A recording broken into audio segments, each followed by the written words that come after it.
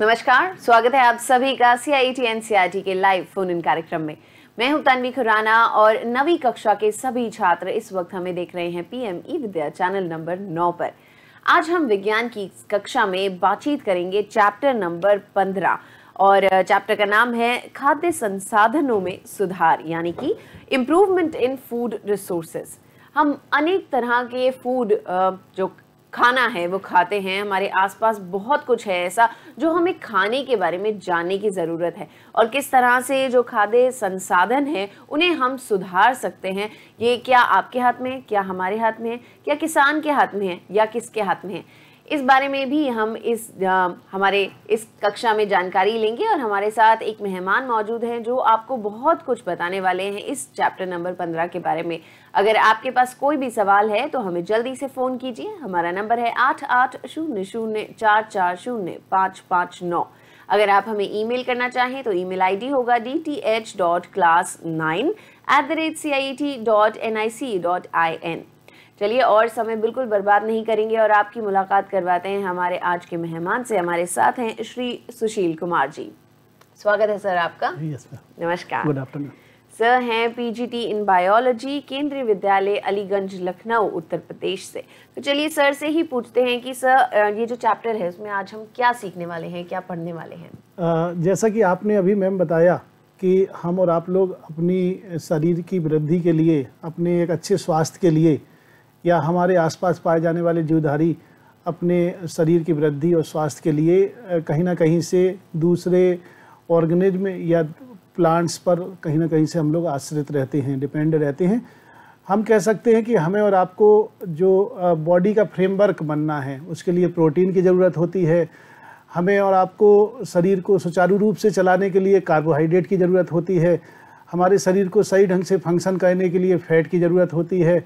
तमाम biochemical metabolic activity को सही ढंग से करने के लिए हमारे शरीर को मिनरल्स की ज़रूरत होती है और मेरे आपके शरीर में खूब मात्रा में पानी भी पाया जाता है।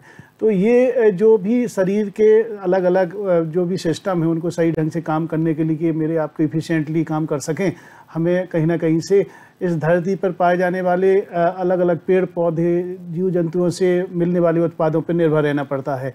और आज हम बात करेंगे कि किस प्रकार से हम इन खाद्य पदार्थों में इम्प्रूवमेंट करके आ, कहीं गुणवत्ता ढंग से इनमें सुधार लाकर अपनी ज़रूरतों को पूरा कर सकते हैं जी तो चलिए सर बातचीत की शुरुआत करते हैं और yes. जैसा कि हम अपनी स्क्रीन पे देख सकते हैं एक प्रेजेंटेशन आपने तैयार yes, की है yes. और एक बहुत ही खूबसूरत सी पिक्चर हमें नज़र आ रही है जिसमें फल हैं और दालें हैं और हम देख सकते हैं कि टमाटर भी लगे हुए हैं। तो क्या आप इस पिक्चर को डिस्क्राइब करेंगे प्लीज़?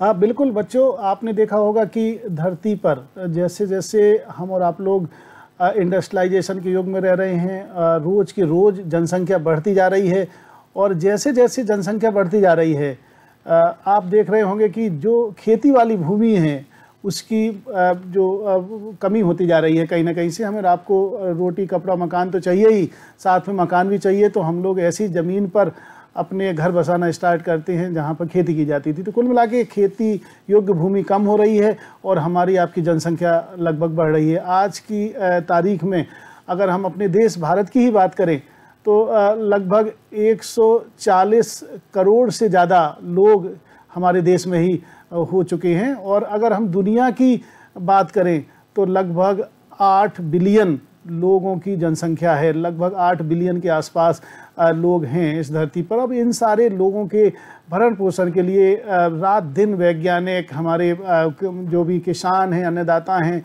और जो अलग अलग शोधकर्ता लगे हुए हैं कि किस प्रकार से हम गुणवत्ता पूर्वक फ़सलों का निर्माण करें खाद्य सामग्रियों का निर्माण करें, जिससे कि हम इन सभी लोगों की ज़रूरतों को पूरा कर सकें। जैसा कि बच्चों, आप जानते हो कि मेरी आपकी थाली में जो भी भोजन मिलता है, उसमें का प्रोटीन होता है, कार्बोहाइड्रेट होता है, फैट, मिनरल्स, विटामिन्स, ये सारी चीज़ें होती हैं और ये हमें अलग अलग ढंग से प्राप्त होती हैं। जो भी हम लोग लेते हैं। सो हम कह सकते हैं कि जो भी हमारी आपकी ज़रूरतें हैं, वो कहीं ना कहीं से क्रॉप से पूरी होती हैं या लाइव स्टॉक होती हैं। इसके अलावा आपने देखा होगा, जैसे पाउल्ट्री और फिशरीज और बी कीपिंग और ये जो अलग अलग एनिमल हस्बेंड्री के अंतर्गत जो हम लोग करते हैं इनका इनकी संख्या बढ़ाने का काम और इनको कहीं ना कहीं से रियरिंग एंड ब्रीडिंग करते हैं तो यहाँ से हमें और आपको अपनी ज़रूरतों वाला चीज़ें प्राप्त होती हैं।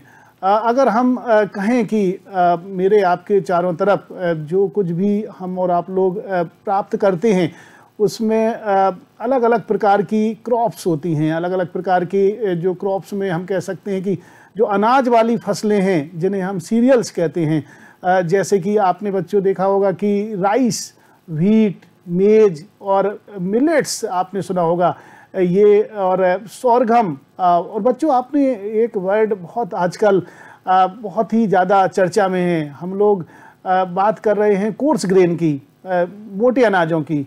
कहते हैं ना, इन्हें सुपर फ़ूड कहते हैं, ये इनमें पर्याप्त मात्रा में और कह सकते हैं बैलेंस अमाउंट में कार्बोहाइड्रेट प्रोटीन और फाइबर्स की समुचित मात्रा पाई जाती है।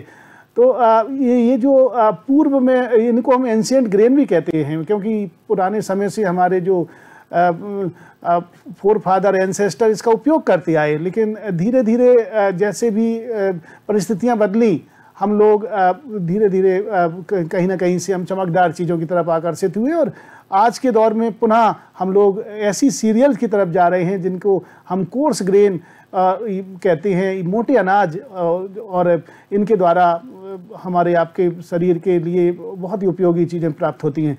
हम अगर आज के लेक्चर में पल्सिस की बात ना करें, दालों की बात ना करें तो ये लेक्चर बिल्कुल अधूरा माना जाएगा। तो दालों की बात करना बहुत ज़रूरी है। दालों से मुझे और आपको प्रोटीन प्राप्त होती है बच्चों।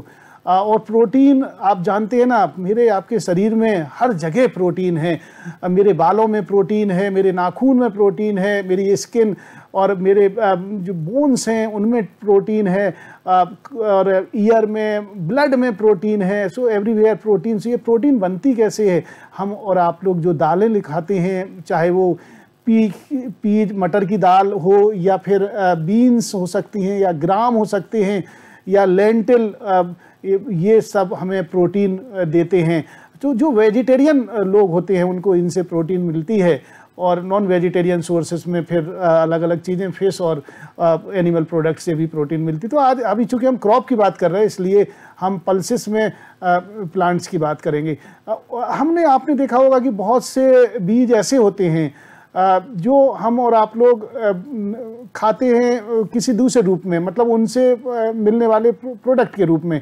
जैसे आपने देखा होगा कि हमें जब ऑयल की ज़रूरत होती है तो सरसों के बीजों से क्रश करके मशीन के माध्यम से तेल निकाला जाता है, सरसों का तेल। ऐसे ही आपने देखा होगा मस्टर्ड ऑयल, ऐसे ही कैस्टर ऑयल का भी हम लोग अलग अलग प्रकार से प्रयोग करते हैं। लिंसीड ऑयल, सनफ्लावर ऑयल और ये सारे जो भी, और हम और आप लोग सर्दियों में ग्राउंड नट का तो बहुत प्रयोग करते हैं ना बच्चों। तो ये सब हमें फैट प्रदान करते हैं और ये हमारी डाइट का एक बहुत महत्वपूर्ण हिस्सा है।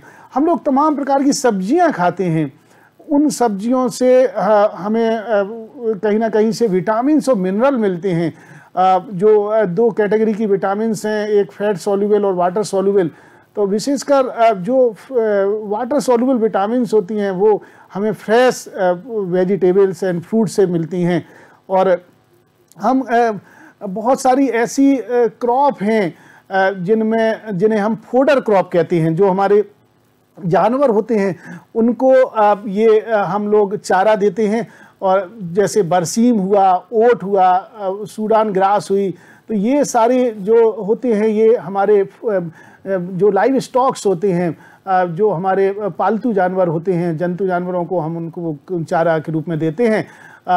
बच्चों, आपने देखा होगा कि जो अलग अलग प्रकार की जो क्रॉप्स होती हैं, इनके लिए अलग अलग प्रकार की क्लाइमेटिक कंडीशन की ज़रूरत पड़ती है।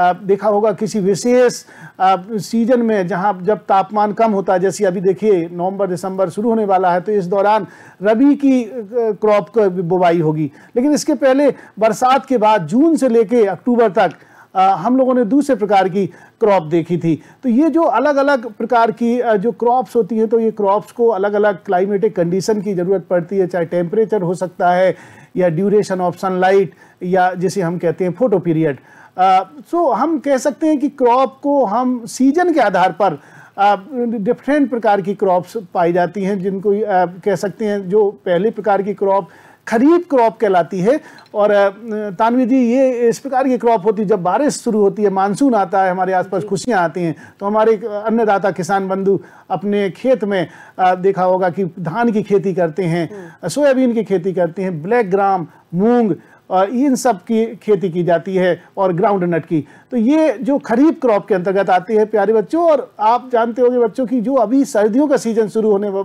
दस्तक दे दी है सर्दियों ने नवंबर से। अब इस दौरान अगर आप, अगर कभी भी अपने गाँव जाएँ या फिर अपने आसपास के वातावरण में देखें जहाँ पे खेती होती है तो वहाँ देखेंगे कि लोग व्हीट ग्राम मस्टर्ड लिंसीड इनकी खेती शुरू कर दी है ये रबी क्रॉप कहलाती हैं इनको अब विशेषकर विंटर सीज़न में बोया जाता है।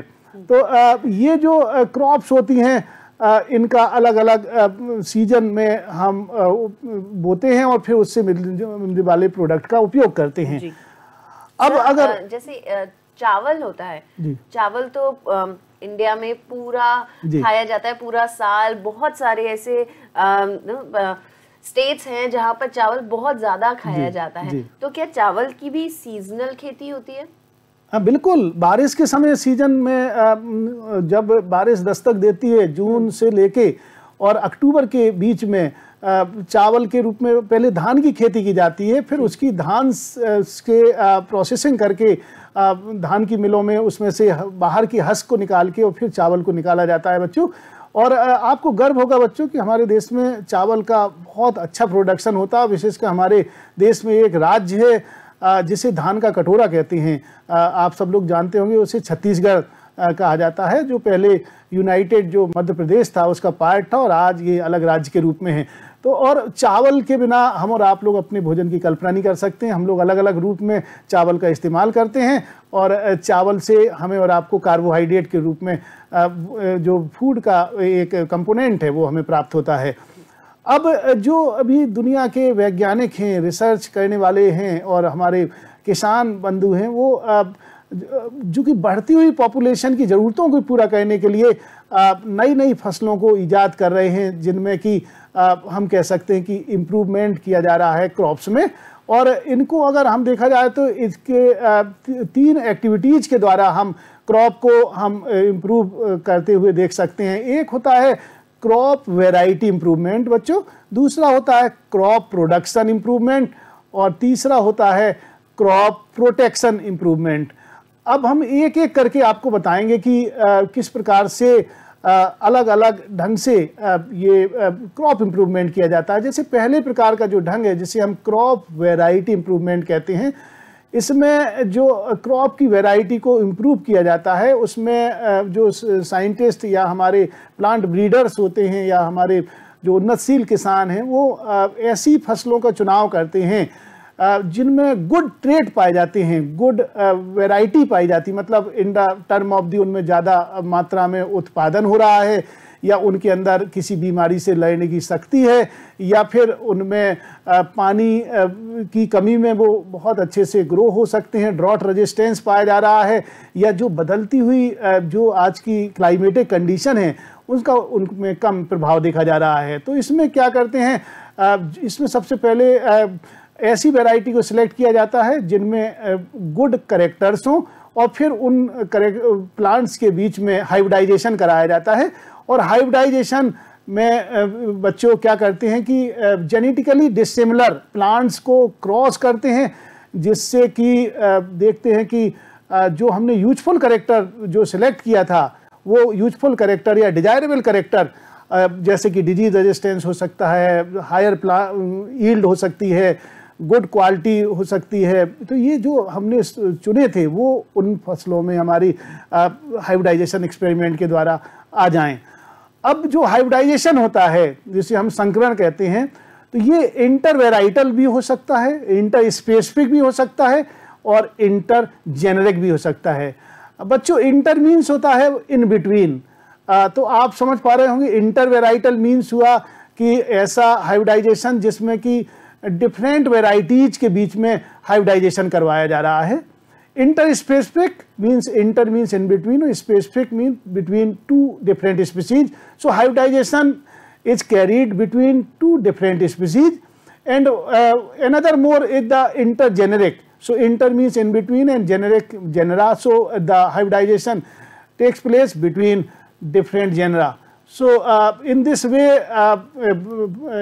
जो plant breeders and farmers as well as scientist may develop the good characters variety that is having higher yield और डिज़ीज़ रजिस्टेंस और ड्रॉट रजिस्टेंस बच्चों, आज के दौरान आपने सुना होगा कि आज के दौरान हमारे वैज्ञानिक uh, विशेषकर uh, जो um, बायोटेक्नोलॉजी और uh, जेनेटिक इंजीनियरिंग के क्षेत्र में काम कर रहे हैं उन्हें आपने सुना होगा कि वो जेनेटिकली मॉडिफाइड क्रॉप्स को बना रहे हैं। आपने कुछ ऐसी क्रॉप का नाम सुना होगा, जैसे भारत में ये क्रॉप जेनेटिकली मॉडिफाइड क्रॉप जो, जिसको परमिट मिला है, वो बीटी कॉटन है। आपने देखा होगा बच्चों की जब हम लोग कोई भी फ़सल का उपयोग करते हैं तो उसमें कई बार छोटे छोटे कीड़े लग जाते हैं कैटरपिलर आपने देखा होगा, जिसे आम भाषा में सूढ़ी कहते हैं। हम लोगों ने बैगन में देखा होगा कॉलीफ्लावर में देखा होगा, और कपास में भी, या अलग अलग फ़सलों में लग जाती। वैज्ञानिकों ने कुछ ऐसे प्रयोग किए और एक बैक्टीरिया होता है, उस बैक्टीरिया को बेसलस थुरिंजियंसिस कहते हैं और उससे एक जीन निकाला और उस जीन के अंदर ये गुण होता है कि वो एक ऐसे टॉक्सिक प्रोटीन बनाता है जो कि उस कैटरपिलर को मारने की ताकत रखता है। तो उस बीटी जीन को ट्रा, उन्होंने ट्रांसफ़र कर दिया क्रॉप में तानवी जी, जी। और ऐसी क्रॉप जिसमें कि उस बैक्टीरिया का जीन पहुँच जाता है उसे हम बीटी कॉटन कहते हैं। और आपको बड़ी खुशी होगी तानवी जी की दुनिया के अलग अलग हिस्सों में बीटी ब्रिंजल बीटी कॉइन तो ये अलग अलग फ़सलें अब धीरे धीरे आ रही हैं। इस पर तमाम डिबेट चल रही है। जब ये सारे स्टेक होल्डर को सेटिस्फाई कर दिया जाएगा तो हम भविष्य में शायद ऐसा देख पाएँगे कि हमारी फ़सलों में जो उपज कम हो जाती है जो इन्हें कैटरपिलर के लगने के कारण सूढ़ी के लगने के कारण, ये छोटे छोटे कीड़े तो वो शायद ख़त्म हो जाए और इससे कहीं ना कहीं से किसान लाभान्वित होंगे। हम देख सकते हैं कि क्रॉप वेराइटी का इम्प्रूवमेंट हम कर सकते हैं हायर ईल्ड के लिए, या फिर बहुत सारे ऐसे फैक्टर होते हैं जैसे कि इंसेक्ट हुआ कोई डिज़ीज़ हुई या अनवांटेड इंसेक्ट जो नुकसान पहुँचा रही है बायोटेक एक प्रकार के फैक्टर कहलाती है और ये बायोटेक फैक्टर में प्लांट को suppose there is a heat condition around the field where the plants are growing और there is the uh, condition or salinity as well as frost. So uh, nowadays scientists are trying to make such a plant uh, which are showing the uh, which are able to bear the cold stress, which are able to bear the frost stress or they are frost resistance. और आप जानेंगे कि salinity में भी grow हो सकते हैं। मतलब जहाँ पर नमकीन भूमि है वहाँ पर भी ऐसे मॉडिफाइड प्लांट ग्रो हो सकते हैं जो बनाए जा रहे हैं जेनेटिकली मॉडिफिकेशन के द्वारा। आ, हमने आपने देखा होगा तानवी जी जैसे आज नवंबर के माह में गेहूँ को बोएँगे। और ये फरवरी के लास्ट में काटना स्टार्ट होगा और मार्च के प्रथम सप्ताह और पंद्रह मार्च या बीस मार्च तक हमारे किसानों के घरों तक गेहूँ पहुँचता है। तो इस दौरान देख रही होंगी कि लगभग तीन से चार महीने का वक्त लगता है इसको पूरे प्रोसेस होने में।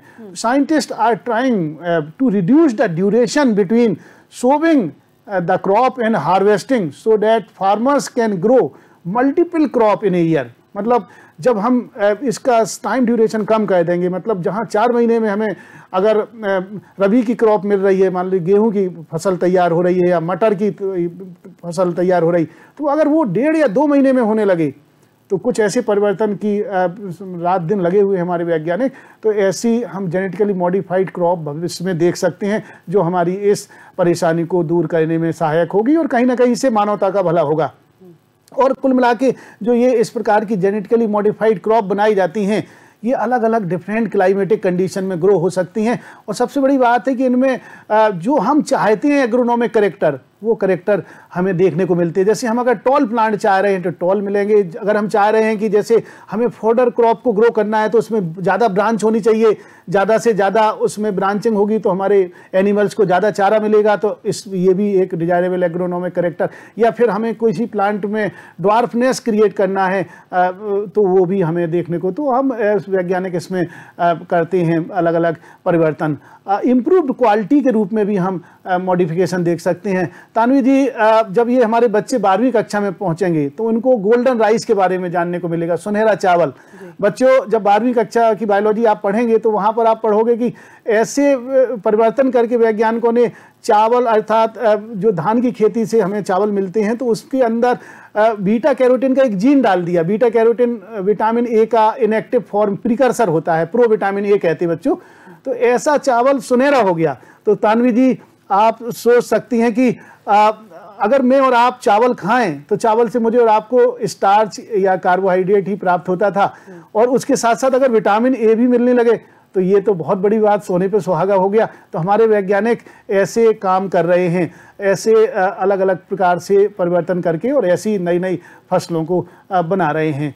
तो एक और प्रकार का जो क्रॉप क्रॉप प्रोडक्शन जो मैनेजमेंट है, उसमें हम कह सकते हैं कि हमारे जो साइंटिस्ट, वैज्ञानिक और जो भी शोधकर्ता हैं, न्यूट्रिशन के लिए अलग अलग ढंग से मैनेज कर रहे हैं। न्यूट्रिशन मैनेजमेंट मींस ऐसा सिलेक्शन करना, टाइम एंड अमाउंट का, न्यूट्रिएंट का so that they will be supplied to the crop so plant get the nutrient from air water and soil so total sixteen nutrient हमारे uh, जो ज़रूरी होते हैं plant के लिए। और उनमें से uh, कुछ न्यूट्रिएंट एयर से मिलता है जैसे हमारी हवा में नाइट्रोजन बहुत ज़्यादा मात्रा में होता है वाटर से हाइड्रोजन मिल जाता है और सॉइल से रिमेनिंग थर्टीन न्यूट्रिएंट मिलते हैं। तो सोलह न्यूट्रिएंट ये मिलते हैं और अगले टाइम पर बच्चों जब हम और आप लोग मिलेंगे तब हम आपको बताएँगे कि ये जो सोलह न्यूट्रिएंट हैं, इनमें से कुछ न्यूट्रिएंट ऐसे होते हैं जिनकी ज़्यादा मात्रा में ज़रूरत होती है प्लांट्स को। वो कहलाते मैक्रो न्यूट्रिएंट जैसे कार्बन हो गया, ऑक्सीजन हो गया, हाइड्रोजन हो गया, nitrogen, phosphorus, potassium, calcium, magnesium, sulphur. ये सॉइल से और कुछ वाटर से मिलते हैं। और कुछ बहुत सूक्ष्म मात्रा में, कम मात्रा में ज़रूरत होती है, उन्हें हम माइक्रो न्यूट्रिएंट कहते हैं। जैसे manganese, boron, zinc, copper, molybdenum, chlorine so ये आ, कुल मिला के बहुत ज़रूरी है और वो न्यूट्रिएंट जब प्लांट में पहुँचते हैं तानवी जी तो हम और आप लोग लेते हैं और वो न्यूट्रिएंट कहीं ना कहीं से मेरे आपके शरीर में पहुँच के और मेरे आपके शरीर के भी एक भला करते हैं और मेरे आपके शरीर के सही ढंग से फ़ंक्शन करने में भी मदद करते हैं। तो कुल मिला के बच्चों आज आप समझे होंगे कि क्यों ज़रूरत पड़ी हमको क्रॉप वेराइटीज़ की इम्प्रूवमेंट करने की और अलग अलग प्रकार से किस प्रकार से हम क्रॉप वेराइटीज़ का इम्प्रूवमेंट कर सकते हैं अपनी ज़रूरतों को पूरा करने के लिए। आप लोग ऐसे ही पीएमई विद्या चैनल को देखते रहें बच्चों और जो भी इससे संबंधित प्रश्न हैं एनसीईआरटी बुक में दिए गए हैं उनको आप सॉल्व करें।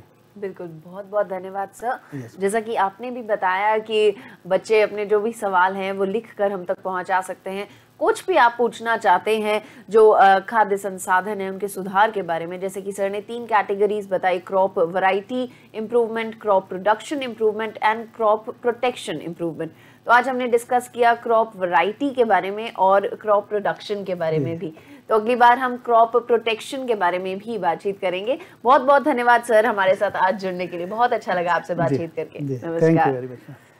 और अगर आपके पास कोई भी सवाल है तो जल्दी से हम तक पहुँचा सकते हैं। आप आप देख रहे हैं PM e Vidya channel number नौ।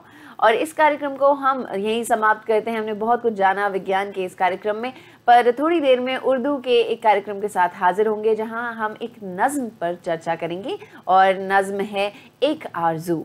तो चलिए, अपने सवाल आप हमें जल्दी से भेज दीजिए, और साथ ही साथ पीएमई विद्या चैनल्स देखते रहिए। बहुत बहुत धन्यवाद एक बार फिर से हम आपका करना चाहेंगे। अपना ध्यान रखिएगा। नमस्कार।